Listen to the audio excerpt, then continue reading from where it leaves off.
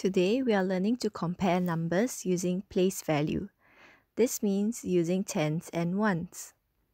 Let us look at our first example. We have set A and set B. Set A has 25 cubes and set B has 32 cubes. I can split these numbers into tens and ones.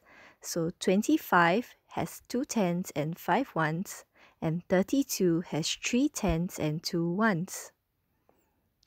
When I compare numbers, I first look at the tens. So 25 has two tens and 32 has three tens. When I compare 2 and 3, I know that 3 tens is greater than 2 tens. So 32 is greater than 25. I don't need to look at the ones yet because the tens already tell me that 32 is greater than 25.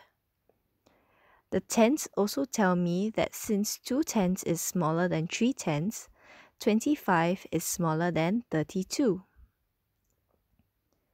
Let's look at another example. Now I have set C and set D. Set C has 21 cubes and set D has 28 cubes. So I can split these numbers into tens and ones. 21 has two tens and one one, and 28 has two tens and eight ones. So in our previous example, we said when we compare numbers, we look at the tens first. But in this case, both numbers 21 and 28 both have two tens. So because we cannot tell which number is greater or smaller by looking at the tens, we go on to look at the ones. 21 has 1 1 and 28 has 8 ones. 8 is greater than 1, so 28 is greater than 21. I also know that since 1 is smaller than 8, 21 is smaller than 28. Let us look at a few more examples. So we have 23 and 31. When we compare numbers, we look at the tens first. So I will box up the tens first. So I have two tens in 23 and three tens in 31. By comparing these two numbers, I know that 2 is smaller than 3. So 23 is smaller than 31. Next example, 37 and 30. I'm going to first look at the tens. So both numbers have three tens. So this doesn't tell me which number is greater or smaller, so I need to go on to look at the ones. 7 ones is greater than 0 ones, so I know that 37 is greater than 30. For the last example on this page, I'm comparing the numbers 23 and 23. Straight away, you know that they are the same number, so we can say that 23 is equal to 23. Finally, let us compare three numbers.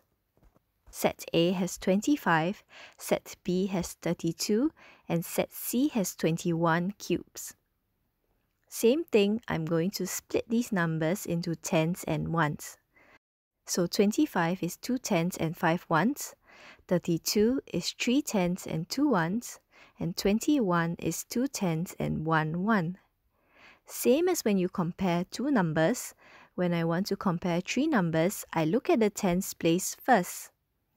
So set A has 2 tens, set B has 3 tens, and set C has 2 tens. Which number is the greatest? If you said 3, you are right. So 3 tens is the greatest, therefore 32 is the greatest number. Now let us look for the smallest number. I'm comparing between 2 tens in set A and 2 tens in set C. Since the number of tens is the same, I look at the ones. I have 5 ones in set A and 1 1 in set C. 1 is smaller than 5, so 21 is the smallest number. I know the greatest number and the smallest number, therefore I can very easily order them from smallest to greatest. So 21 is the smallest, 25 and then 32 the greatest. And I can also easily compare and order from greatest to smallest. So 32 is the greatest, 25 and then 21. So this is how you compare and order numbers.